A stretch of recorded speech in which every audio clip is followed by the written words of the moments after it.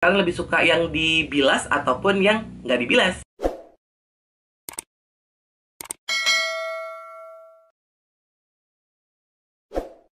Halo teman-teman YouTube, apa kabar kalian semua? Semoga aktivitas kalian di minggu ini berjalan dengan lancar ya Di video kali ini gue tuh mau masuk ke Battle Skincare Gue mau bandingkan dua produk peeling yang punya fungsi nyaris mirip banget Tapi punya perlakuan yang beda banget Yang pertama ada dari produk yang lagi viral Yang lagi banyak banget diomongin yaitu Skintific peeling solution yang akan gue bandingin dengan brand lokal yang udah punya nama besar dan produknya juga banyak yang bagus-bagus yaitu Something Peeling Serum.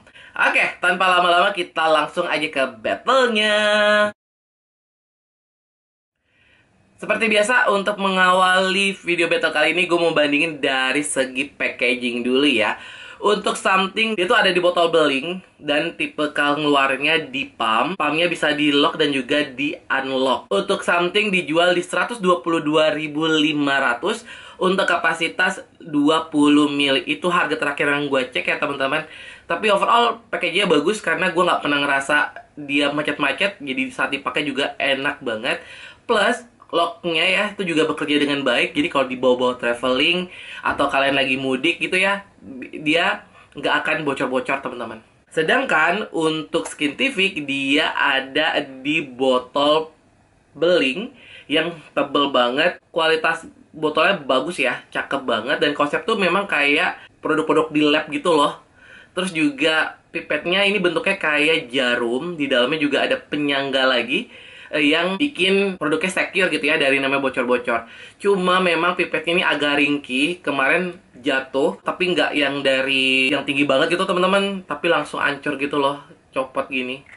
Tapi nggak apa-apa sih masih bisa dipakai. Untuk Skintific dia tuh berkapasitas 30 mili dan terakhir gua cek dijual di 125 ribuan. Keduanya udah ber BPOM jadi aman ya kalau kalian mau pakai. Kalau dari segi packaging jujur sebenarnya lebih eye catching packagingnya Skintific ya dia bagus banget gitu teman-teman. Dan itu salah satu packaging serum tercantik yang pernah gue beli.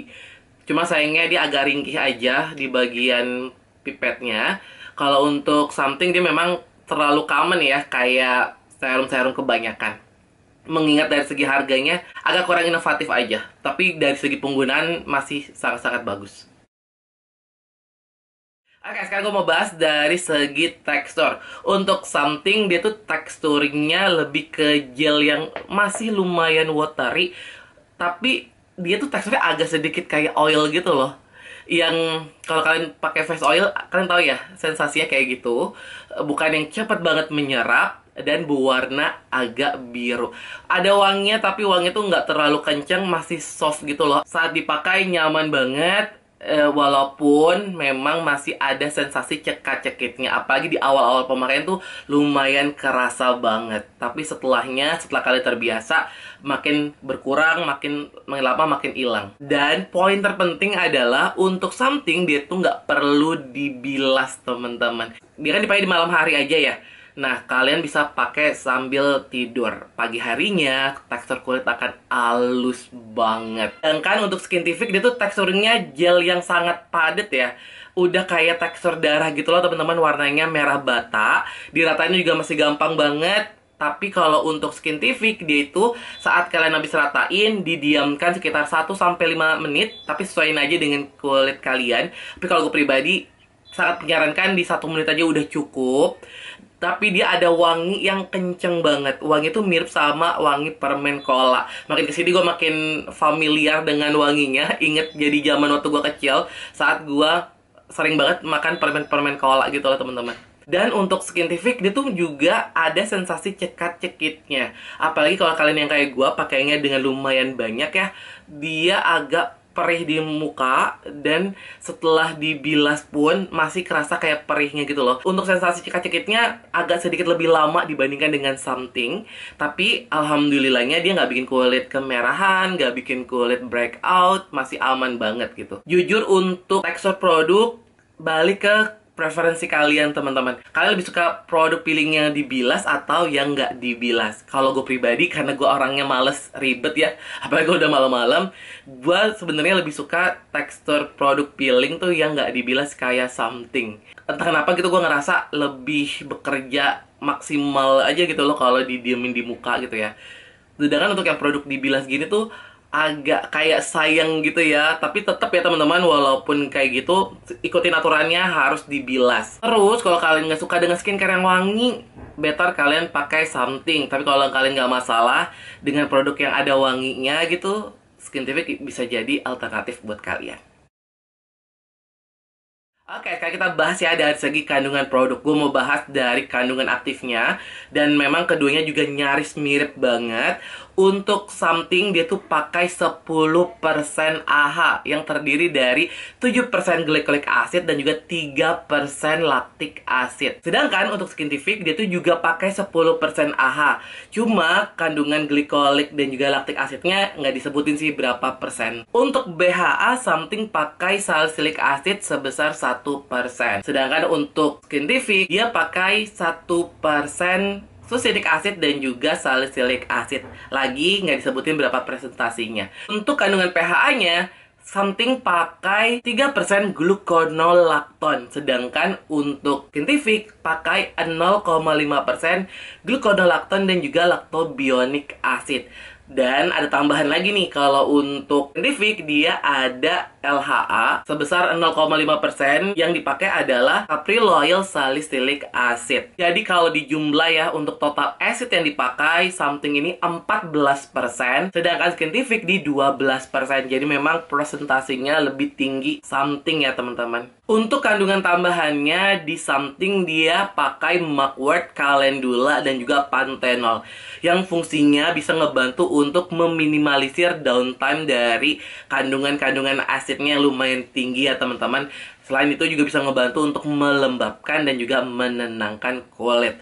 Sedangkan untuk skintific dia tuh ada tambahan niacinamide yang bisa ngebantu untuk mencerahkan kulit wajah dan juga bisa memperkuat skin barrier ya teman-teman. Keduanya menurut gua bisa dipakai di semua tipe kulit. Cuma yang harus kalian baris bawahi adalah keduanya sangat gue sarankan untuk advance user yang udah terbiasa menggunakan produk peeling karena mengingat yang dipakai juga tinggi agak gitu beresiko banget kalau yang masih pemula untuk pakai mereka. Takut ada downtime yang lumayan parah kayak breakout ataupun hypersensitif gitu ya. Kulit jadi jauh lebih sensitif. Tapi kalau kalian mau coba juga nggak apa-apa. Cuma presentase produknya jangan terlalu banyak. Pakai dikit-dikit aja tipis-tipis aja dan pakai seminggu sekali. Oke, sekarang gue mau bandingin dari segi efek produk. Pertama, dari segi efektivitas gitu ya. Kalau misalnya kalian gak punya banyak waktu dan misalnya capek banget gitu ya kalau di malam hari pakai skincare mau yang ringkas menurut gue kalian akan lebih suka pakai something karena dia tuh nggak perlu dibilas lagi ya jadi kalian abis cuci muka pakai serum pakai moisturizer langsung tidur. Sedangkan kalau misalnya pakai Skintific itu PR banget. Cuci muka, pakai serumnya, cuci muka lagi, baru pakai moisturizer gitu. Memang agak sedikit lebih butuh waktu gitu ya, lebih butuh effort. Tapi balik lagi ini ke preferensi aja. Terus kalau dari segi kemampuan produknya, keduanya punya kemampuan yang bagus banget untuk meremajakan kulit wajah, mengangkat sel-sel kulit mati, mengontrol produksi minyak berlebih di kulit wajah, memperbaiki tekstur dan bikin tampilan kulit jadi jauh lebih cerah. Cuma entah kenapa gue tuh ngerasa ya setelah gue rutin pakai si Skintific ternyata dia tuh hasilnya masih di bawah dari something sih. Dan gue ngerasa wajar ya ingat dari segi persentase asidnya si Skintific ini ada 2% lebih tinggi dibandingkan dengan Skintific. Jadi something nih bisa banget dipakai buat teman-teman yang udah 30 tahun dan ke atas yang memang butuh produk peeling yang benar-benar strong untuk membantu mempercepat proses regenerasi kulit. Untuk Skintific sih buat yang udah advance, buat yang udah usianya 30 tahun dan ke atas tetap oke okay banget gitu ya. Cuma ini lebih jadi treatment seminggu sekali aja atau dua minggu sekali gitu sih. Kalau misalnya kalian lagi pengen pakai produk yang dibilas gitu ya. Keduanya ada sensasi cekak-cekitnya, ada sensasi perihnya, cuman tak kenapa di gua ya si Skintific ini agak lebih lama gitu hilangnya dibandingkan dengan something. Something tuh walaupun presentasinya lebih tinggi, tapi dia tuh cikat-cikatnya paling cuma beberapa detik aja gitu loh teman-teman. Setelah itu hilang gitu ya. Sedangkan untuk Skintific nih setelah gue bilas sekalipun, setelah gue tambahin moisturizer masih ada gitu sensasi cikat-cikatnya. Tapi setelah sekarang sih makin berkurang sih teman-teman. Kesimpulannya untuk battle dua produk peeling dari dua brand yang sangat-sangat terkenal Something dan juga Skintific Jujur gue akan memenangkan Something. Mengingat dari segi pemakaiannya Dari segi efektivitas produknya Dan juga dari segi kandungan produknya. Kalau dari segi packaging memang Skintific jauh lebih unggul. Tapi kalau dari segi harga dua-duanya masih 11-12 sih Walaupun isinya Skintific jauh lebih banyak ya teman-teman. Wajar karena Skintific kan produk yang dibilas Jadi pasti akan disediakan lebih banyak. Kalau untuk something kan produk yang di live on Yang dibiarin gitu ya menyerap. Jadi memang agak nggak terlalu banyak gitu ya. Keduanya punya tekstur yang juga lumayan agak beda. Kalau si something ini gel yang lumayan watery berwarna biru Sedangkan untuk Skintific dia tuh gel yang berwarna merah darah dan agak padat. Walaupun keduanya masih sangat-sangat mudah untuk diaplikasikan. Balik lagi ke pilihan kalian teman-teman. Kalian lebih suka yang dibilas ataupun yang nggak dibilas? Oke deh teman YouTube, begitu dulu Battle Skincare untuk edisi produk peeling yang memang menurut gua dikhususkan buat teman-teman yang udah advance yang udah biasa menggunakan produk peeling yaitu dari Skintific dan juga Something. Again, gue masih memenangkan Something ya teman-teman walaupun tetap Skintific ini produk yang bagus banget. Kalau teman-teman yang udah pernah pakai keduanya boleh banget tulis pendapat kalian di kolom komentar. Kalau kalian ada pertanyaan juga boleh banget tulis aja pertanyaan kalian di kolom komentar. Kalau kalian suka video ini boleh klik tombol like-nya yang belum subscribe jangan lupa subscribe channel YouTube gua dan kita ketemu lagi di video dunia Andri berikutnya. Bye bye.